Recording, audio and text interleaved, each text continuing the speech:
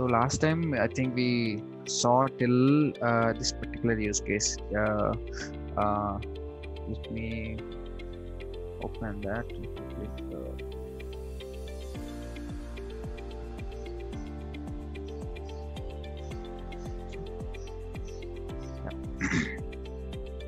So last time what we are doing was we created a particular parameter and we are trying to get the selected customer we created a parameter on customer and uh, we are getting the value sales value of that particular customer to compare with all other customers okay?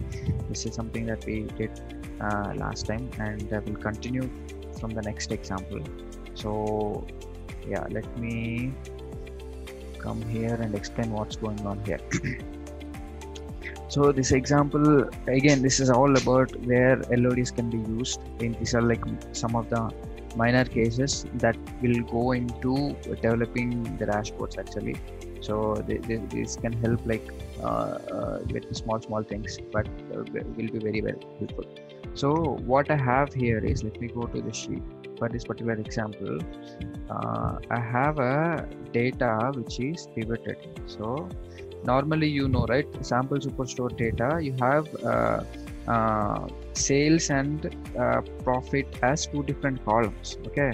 But here my data is pivoted. Uh, so what i have here is i don't have sales and profit. I have a, something like this okay? Uh, yeah. I have a column that says measure. So this holds either profit or sales. If you scroll to the bottom you can see sales okay uh, profit sales and that corresponding value in the another column that says uh, value. Okay so based on these two i'll get the uh, uh, values of corresponding profit and sales. Now from the let's say your data is like this like pivoted data like the one that we just saw. And how do you work on uh, we can use LODs to kind of get uh, the understanding or the uh, what we say the functionality that we had if the data was unpivoted okay? Let me say how it's it, it's a simple condition. Let me show you how we can do that. So normally let's say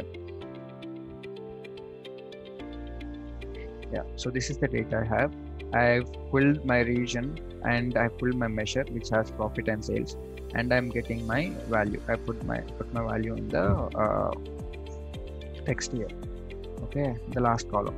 Now it's giving me profit and sales and sales. But uh, i don't want something like this is not the this table the current table that what you see.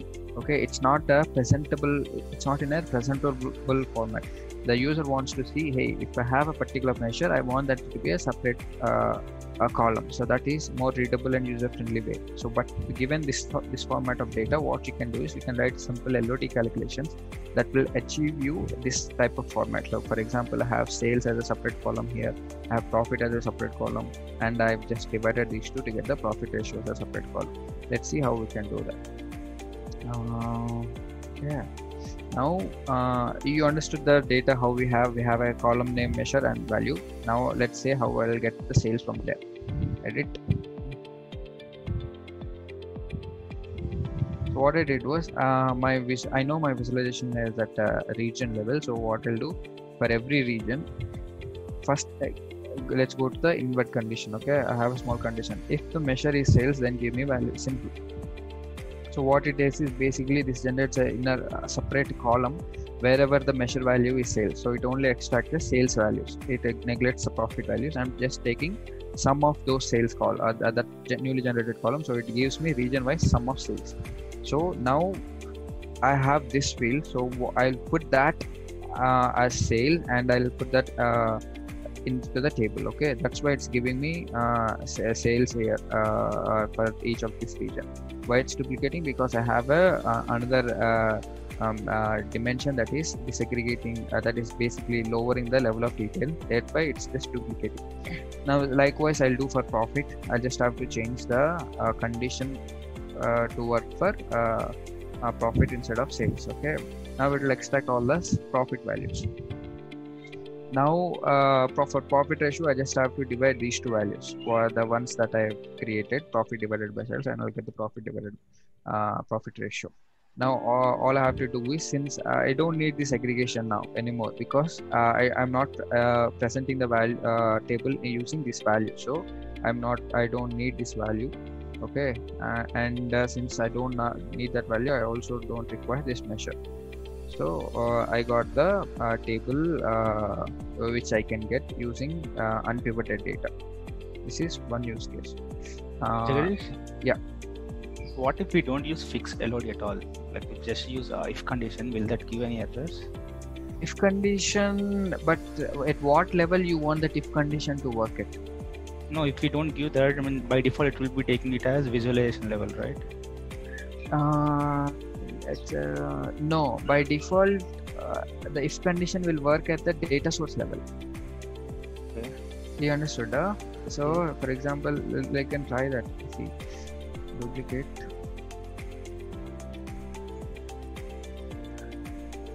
you're saying that you remove this huh yes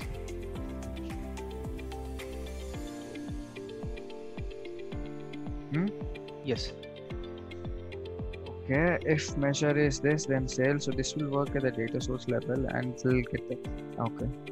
I think this would also yeah it can work. Let's see. Sales copy.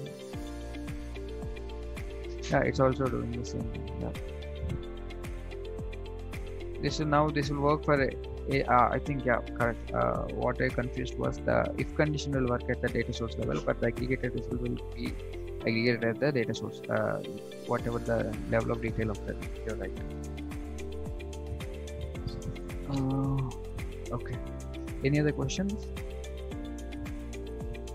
Okay.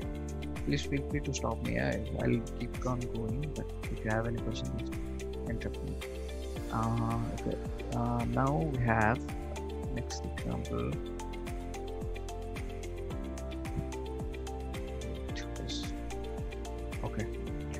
now this is a, a, similar use case that which we had earlier but let's uh, slightly different okay? Now let me explain the use case here. We have a this is only for one particular customer but let's say we want to do this for all the customers. For each customer uh, we have the different order dates on which he, he made a particular purchase right? Now each of those sales values we have. Now we want to extract for each of these customer what is his uh, the, what is the sales value of his last order okay in this case for example this was the last order that he made which is on october 12th uh, or some uh, i'm sorry october 12th and which is of eight dollars worth now I want to extract that eight dollars for uh, uh, similar uh, value for each of the customer, and I want to compare that with his rest of the orders. Okay, can anyone think of a way how to how we can do it? It's a very simple one. So for fixed customer, we will find the maximum order date and like and filter it out. Maybe like for fixed customer name, max order date. Okay. So if order date is equal to max of order date, then sales.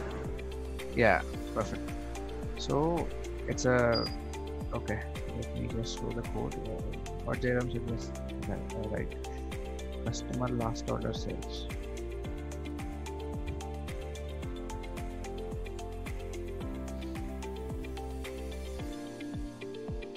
so I have a condition. It says if order date.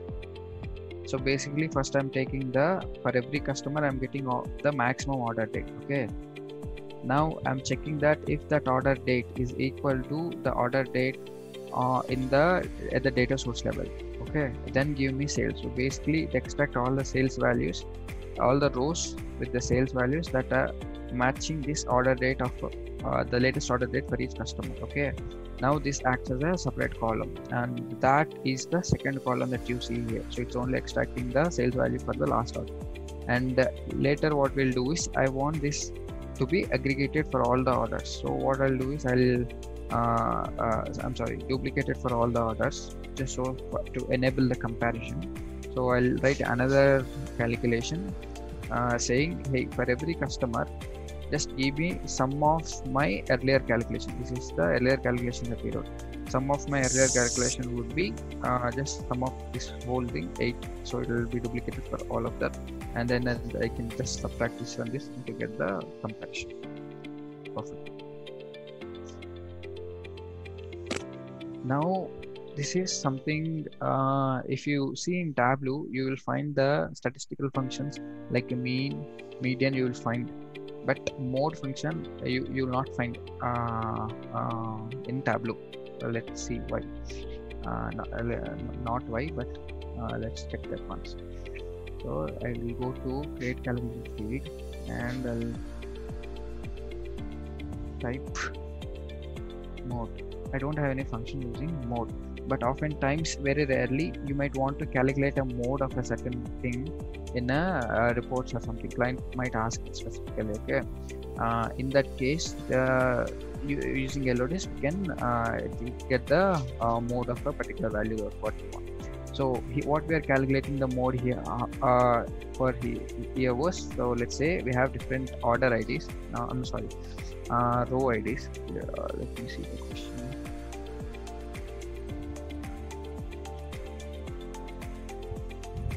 Yeah i'm sorry so if you see here the sample superstore data we have different row ids and each of these row ids uh, belong to a certain product okay? Certain product in an order.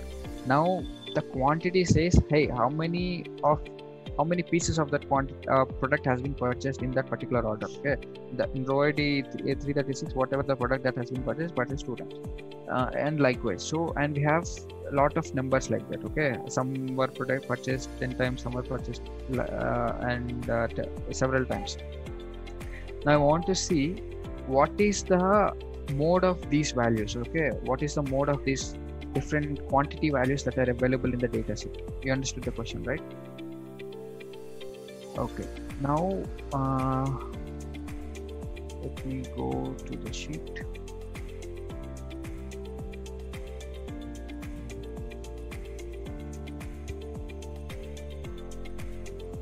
it's it's already in the sheet but anyone uh, can think of a logic how we can find the mode?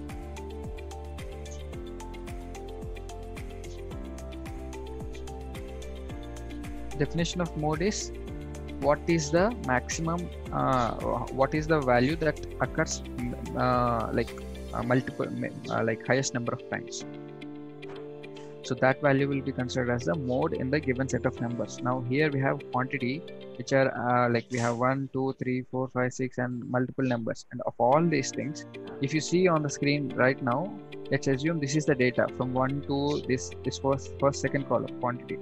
We can see that 2 is occurring multiple highest number of times than compared to 1 and 3 so if this is alone is the data then my mode is 2 likewise i need to calculate uh, mode for all the values in the data set so simply that i need to base uh, uh, uh, basically my logic would be to get the number of occurrences for each of this kind of value. For one how many occurrences are there? For two how many occurrences are there? And likewise and find the maximum of that uh, occurrences uh, values. So that will give me the mode of that. So let me uh, where is this? Quantity of data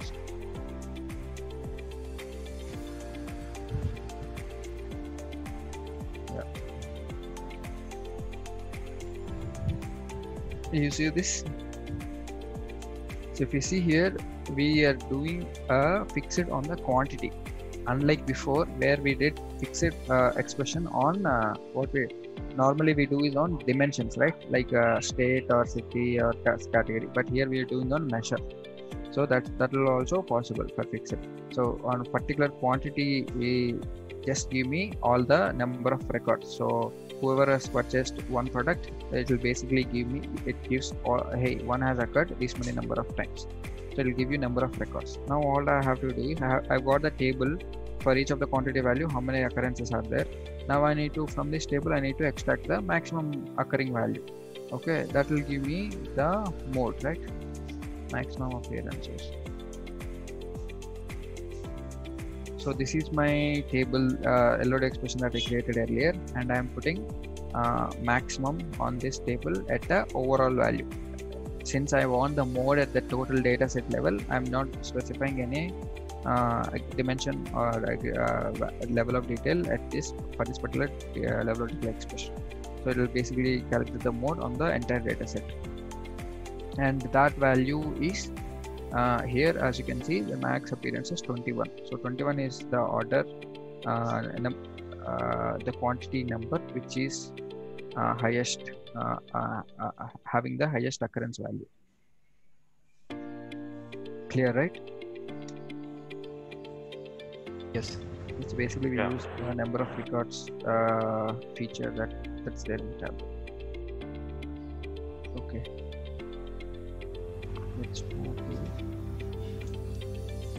the value from the set uh, also so if you remember uh, uh, sets okay uh, sets are something in tableau. What they do is uh, so uh, just like how you create a groups on a certain dimension let's say we have a uh, subcategory and we are creating a group on that selecting two subcategories and making them a, a sub, sub- certain group. Uh, sets also work a kind of a similar way but they are a little different from groups. So you can also create sets on a certain dimensions okay? And uh, what happens is whatever set contains a dynamic values. For example uh, what hap- uh, when you create a uh, set on a dimension you can change the values in that dimension uh, in that in that set. So every time the set will hold a certain values in and certain values outside the set. And you can use these sets to like do filterings or make some interactions in the visualizations etc okay? But the fault with uh, the, that often noticed uh, in the sets is uh, that if you want to see uh, hey what is the value that is inside a set? Okay? Uh, or what are the values that are outside the set? You need to basically uh, uh, put that in a new sheet or see which are the values inside which are the values outside or you have to filter then only you'll be able to get them.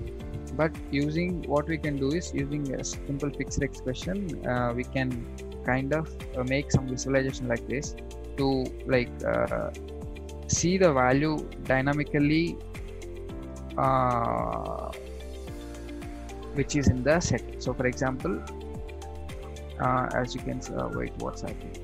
Okay it's changing okay. Uh, as you can see the date value in the below uh, is changing as i'm hovering over the uh, top dates. Uh, the, the, the top visualization is nothing but a simple date chart okay. There are the x-axis on the date date on the x-axis and simple marks okay. And i've created a set action just to update my i've created a set and uh, added a set action okay? Date set and uh, based on my selection uh, do that.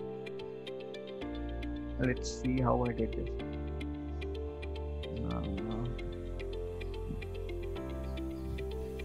this is pretty much straightforward. Uh, order date and uh, i created my that is my date set okay from the order date uh, column. And uh, later uh, I've created a this sheet which is pretty much my date from the set okay. How do I get that value? This is the one that I'm, I was talking about. To view this value basically you need to uh, show either filter or uh, basically do in or out thing to get the value in the but using this thing what we can do is so what will what what this will hold? Date set. Um is a uh, it's a parameter right? Date set uh, no i'm sorry it's a set okay. Yeah so if a particular order date is in is inside the set it will hold true. So if it is true then get that order date else get nothing. So basically at any point in time what this expression will return is the order date value that which you selected right? So, uh, what is Max doing here then if you are getting the order date? max is just a uh, tableau doesn't uh, allow disaggregated values okay? If i remove that tableau shows hey a result of a level of detail expression must be an aggregate uh, if you give an individual value i will not take it. The, that, that's how tableau uh, deals with it. So here max is not from the function point of view functionality point of view it's not doing anything but just to avoid this error okay we are giving max. Uh, it's just for syntax, so we can give max, min, or aggregate anything. yes you can give min as well. It will also work there are a lot of situations. I think uh, uh, Jairam and Akhil would be uh, aware of this sort of situation. There are uh, you normally give some sort of aggregation just to uh, avoid that error and get the value. So yeah, i- it's uh, uh, sometimes yeah, it's not. Whenever you see min, it's it's not necessary that it's actually we're taking. It's it's the function is being applied. It's just for the sake. It could be for the sake of aggregation only. Yeah, it, will, it is returning a single value, so max, min, or any other function won't apply. on it. Yeah, But right. Just for the syntax, we are putting. Yes, yes. Okay, so th- that expression will give you. Uh, so basically, the will pull out the value inside the set and it will display in the sheet. Now I've just created a dashboard for the same uh, top sheet and bottom sheet, and I created a dashboard uh, set action to update my set value based on my hover uh, from the top sheet. So thereby, I'm seeing the value stream.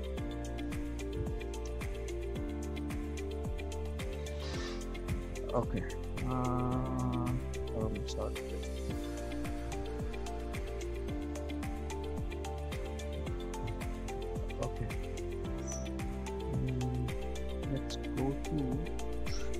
This example is a little complicated. Uh, we'll come back to it at the last. Okay, come back to it at last and.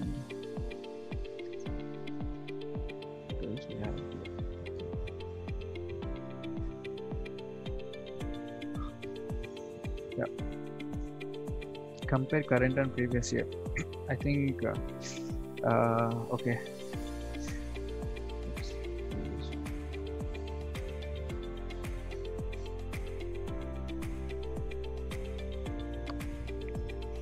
uh, we have lot of methods in tableau basically to compare uh, year over year growth and uh, uh, etc like that we can use uh, table calculations we can use uh, write ourselves a simple calculated fields without using LODs. But and we are very much aware of that. It's a simple action and very used action. So Tableau provides a lot of uh, functions to enable that to the users. But there's also a way that we can do using fixed expressions. I just want to let's just expo- explore it here quickly. So what the task here is basically we want to compare the uh, uh, what are we comparing the sales okay sales of a particular month to the previous month previous year okay of the same month so what i did here was basically i created two calculated fields uh, oh, okay this is name. difference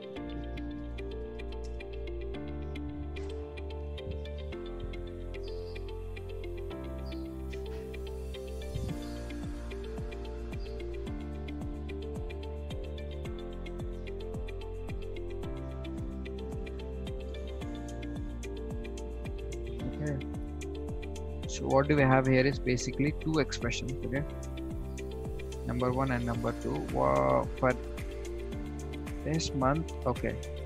Uh, what would this month of order date would give Jairam? Each month, like in graph, you can see right Jan, Feb, like that. yeah it's So it we will are be a, it will be a date part. It, it's Yeah, not a date value. So it, it, it won't distinguish between the different years that what we have right Yeah. so thereby when we are doing a fixed expression on month of order date uh, that uh, instead of doing directly sum we are providing a condition here. Hey also see if the uh, i know in the expression you are not seeing it but check here. If the if the order year is 2019 only then take the sales. Else if it's belonging to some other year don't take it. Okay? Thereby this first expression will give me sales for in each month it will give me sum of sales for 2019 right? And likewise in in the second expression it will give me sum of sales for each of those months uh, in 2018 so basically each of these expression will generate two tables okay? Table will be like this like this. Uh, jan to feb as my row uh, row headers and uh, sales values in 2019 and 2018 as two columns. Now i'm just subtracting this 2019 and 2018 columns to get my difference difference 2018 to 2019 uh, and uh, thereby i'm getting my value okay difference uh-huh Uh, is null will be detected as zero while uh, doing sum? Uh, it will if you ask If you use mathematically, yes. function, No. Uh, so if you have two values, uh, like uh, 10, 20, and null, the sum Okay. of it will be 30 only. Okay. Some, sometimes what will happen is uh, uh, if it's because uh, not the null, but sometimes what will happen is it will not give you some value alone. Okay. Uh, for example, how do you say it? Uh, I, I, uh, this is exactly what Jairam was telling actually. So let's say you have three rows and one val- one of which is null, uh, and you are trying to sum for three rows. Then in the some cases, Tableau will not give you result. It'll it will show you blank. It will show you null, because Tableau doesn't know how to uh, put the null value. Uh, uh, in that case, what you have to give is you have to pass on the Zn param function and give that measure as an input to this parameter what will give is wherever it is null it will basically take it as 0 zn null it will be converted to 0 Okay. but here in this case i don't think we are facing uh, such an issue. Okay. What is that again? Difference. Uh, here we are not facing that issue. Okay. Oh you are saying about this thing right? Yes. uh, Instead of null, can we use zero directly? that also you can do. That also you can do. That will also work. Because here the null is meaning zero only will not change the thing whatever. Let's open a new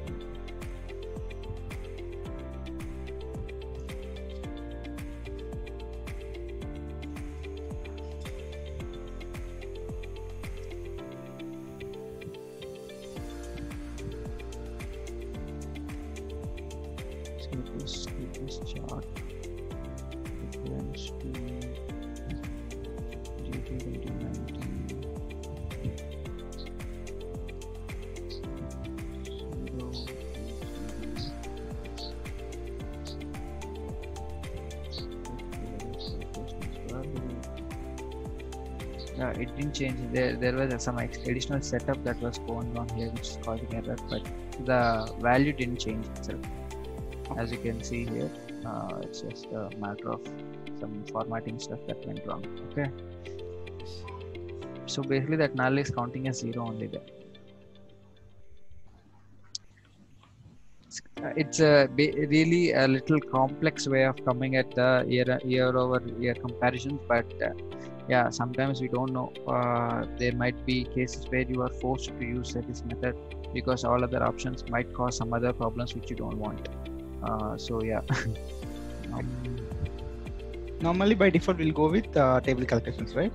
yeah table calculation would be the first option. Uh, else if table calculations are uh, not an option for you then uh, you will do simple calculations or not by using fixed LOD, fixed uh, level of details and etc but simple conditions and calculations will enable this sort of comparison. Okay. Okay. We, so we'll stop it here